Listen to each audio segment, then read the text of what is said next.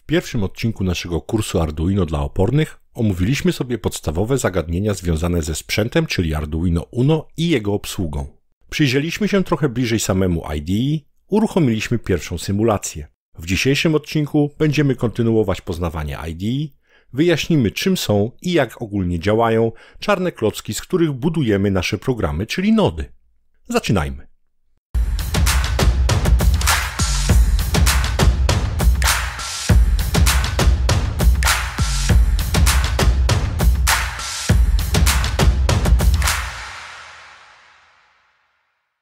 Poprzedni odcinek zakończyliśmy na uruchomieniu programu w symulatorze. Nadal pracujemy w projekcie Welcome to XOD, który prawdę powiedziawszy jest samouczkiem wprowadzającym nas w arkana obsługi języka XOD. Dlaczego zatem omawiamy coś, co istnieje, a na dodatek jeszcze całkiem nieźle działa? Odpowiedź jest banalnie prosta.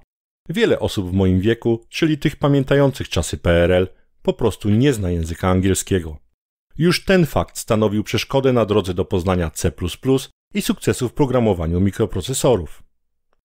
Dlatego w tych pierwszych odcinkach będziemy tłumaczyć wszystko w drobnych szczegółach, trochę później, kiedy poznacie ogólne zasady, nie będziemy już wspominać o oczywistych operacjach, na przykład jak wprowadzić numer portu, po prostu go podamy.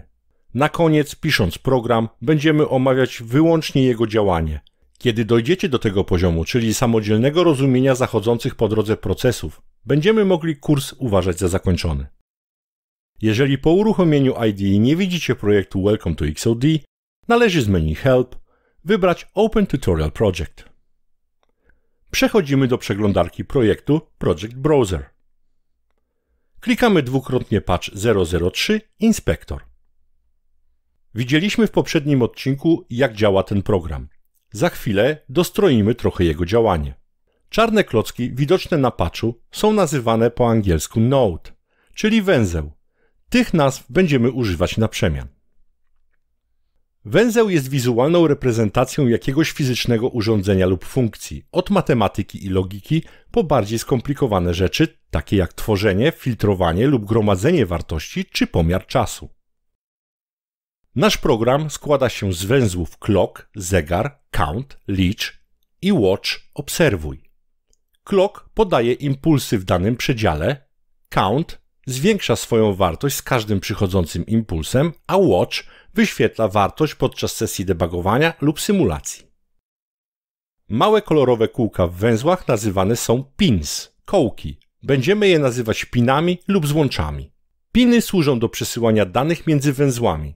Złącza są podzielone na wejścia i wyjścia. Wejścia znajdują się zawsze u góry, wyjścia zawsze u dołu węzłów node. Węzły przetwarzają wartości spinów wejściowych, podejmują pewne działania lub dają wynik. Wartości przychodzące podawane są na piny wejścia z wyjść innych węzłów poprzez link, czyli z angielskiego połączenie, mogą też być definiowane jako wartości stałe dla pinów za pomocą panelu Inspektor podczas tworzenia programu. Panel inspektora znajdziecie po lewej stronie IDE tuż pod przeglądarką projektów. Przejdźmy do ćwiczeń. Kliknij na node zegara clock.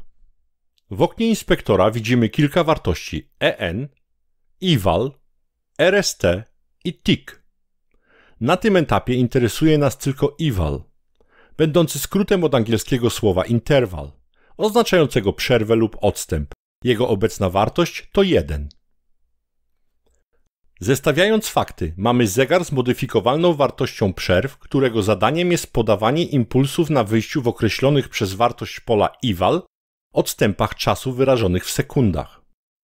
Wniosek z połączenia tych faktów nasuwa się sam.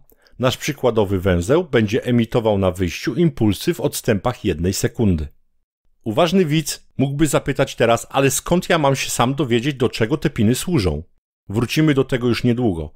Na razie wystarczy zrozumieć, że każdy z tych pinów ma jasno określone zadanie i sposób działania, które użytkownik może odczytać. Uruchamiając w poprzednim odcinku symulację, mogliśmy stwierdzić, że nasz licznik zmieniał swoją wartość co sekundę. Teraz wiemy już, dlaczego robił to w takich odstępach czasu. Zmieńmy zatem wartość pola eval na 0,1. Uruchamiamy symulację.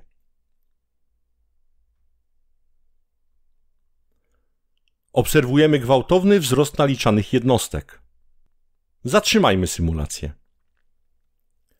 Zaznacz teraz całą grupę nodów, skopiuj skrótem klawiszowym Ctrl plus C i wklej skrótem klawiszowym Ctrl plus V.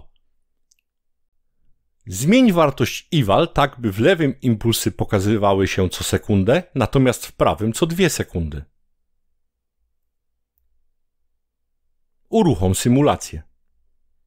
Widzimy, że prawy licznik odlicza teraz o połowę mniej impulsów, ponieważ czas przerwy węzła clock jest dwukrotnie dłuższy niż ten ustawiony w liczniku widocznym po lewej stronie. Zatrzymajmy symulację. Zaznacz prawy program i naciśnij Del na klawiaturze. Zmienimy teraz właściwość węzła count, czyli licz. W okienku inspektora widzimy następujące wartości: step, ink, RST i out. W tym przypadku zmienimy wartość step, czyli po angielsku krok. Pewnie już się domyślacie jak działa. Impuls wychodzący z zegara wchodzi na ping ink od angielskiego słowa incoming, czyli przychodzący, zostaje rozpoznany, przypisana mu zostaje wartość step, czyli 1. Następnie wartość ta zostaje dodana do obecnej wartości, którą węzeł posiadał w momencie odbierania impulsu. Wynik wysyłany jest na wyjście do kolejnego węzła watch. Tym sposobem każdy przychodzący z zegara impuls zwiększa wyświetloną przez Node Watch wartość o 1. Zmieniając parametr step z 1 na 2, otrzymujemy podwójną wartość doprowadzonych z zegara impulsów. Teoria na symulatorze to jedno, a prawdziwe projekty co innego. Prawda. Zastanówmy się zatem, gdzie możemy wykorzystać zdobytą dzisiaj wiedzę w praktyce. Przyjmijmy na chwilę, że nasz zegar jest barierą optyczną, zainstalowaną prostopadle do linii transportowej tuż nad taśmą transportującą jakieś produkty pakowane w zgrzewki po cztery sztuki. Zainstalowaliśmy czujnik tak, aby przejeżdżające obiekty naruszały linię bariery optycznej, wyzwalając impuls poprzez zmianę stanu z niskiego na wysoki.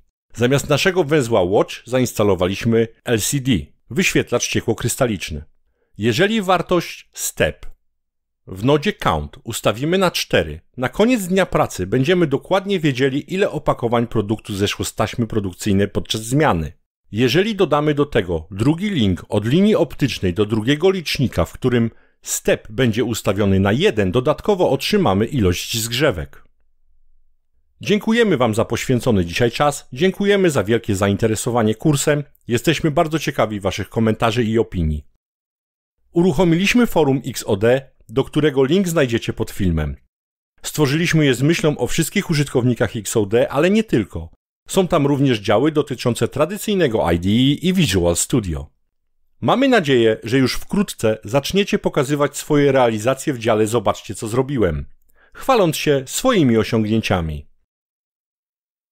Dzisiejszy odcinek nie powstałby bez wsparcia ze strony naszych wspaniałych patronów, ludzi o wielkich sercach, wspierających naszą pracę oraz rozwój środowiska Make w Polsce. Podziękowania należą się również portalowi Banggood.com, który dostarczył sprzęt do realizacji tego kursu.